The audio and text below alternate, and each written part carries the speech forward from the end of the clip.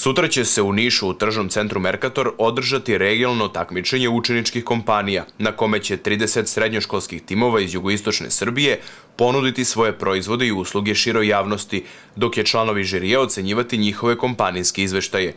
Učenička kompanija je jedan od najprepoznatljivijih programa dostignuća mladih, koji obezbeđuje osnovno ekonomsko obrazovanje za učenike srednjih škola i sprovodi se širom sveta.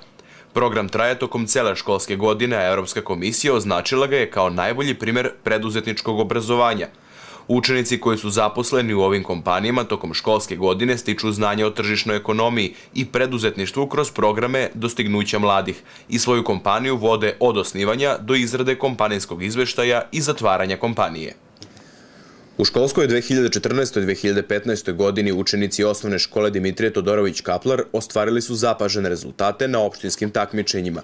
U kategoriji trećih razreda Marko Rakić iz trećeg tri osvojio je prvo mesto na takmičenju matematici. Staša Živković iz četvrtog četiri takođe je prvo mesto u kategoriji četvrtih razreda.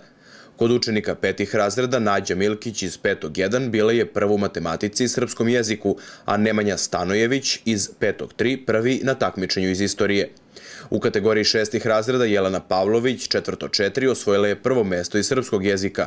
Anđela Ranđelović, Anđela Milijić i Aleksa Radovanović, svi učenici sedmog razreda, osvojili su prva mesta na književnoj olimpijadi. Kod osmaka najuspešnije je bila Nađa Milenković 8-2, koja je takođe na književnoj olimpijadi osvojila prvo mesto.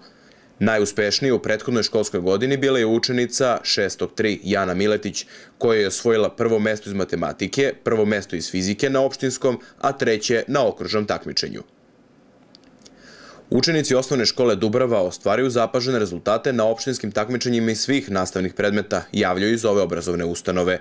Na opštinskom takmičenju matematike Aleksa Ranđelović 8.2 i Emilija Gagić 7.3 osvojili su prvo mesto – Kristina Mitrović 5-2 bila je druga, Mateja Mihajlović 5-2 treći. Plasman na okružno takmičenje iz ovog predmeta ostvarili su i Marija Rapova, četvrto 1, Natalija Ranđelović, četvrto 2, Teodora Đorđević, peto 1 i Katarina Radivojević, šesto 2. Na knjižnoj olimpijadi direktan plasman na okružno takmičenje ostvarila je Dejana Manojlović iz 8. 1. Direktan plasman na okružni nivo iz srpskog jezika ostvario je Aleksa Ranđelović, 8. 2. Jovan Manojlović osvojio je prvo, a Mateja Mihajlović treće mesto na takmičenju iz istorije. Aleksa Ranđelović osvojio je prvo mesto na opštinskom, drugo na okružnom i ostvario plasman na republičko takmičenje iz fizike. Futbaleri Timočina u nedelju su odigrali poslednju kontrolnu utakmicu pred nastavak prvenstva Srpske lige. Rival im je bio Rudar iz Podvisa, meč je završen nerešenim rezultatom 1-1.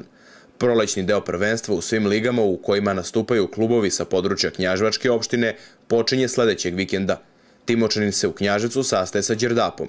U zoni Istok Rudar je u podvisu domaći napretku iz Aleksinca, dok Bučije gostuje u Bogovini.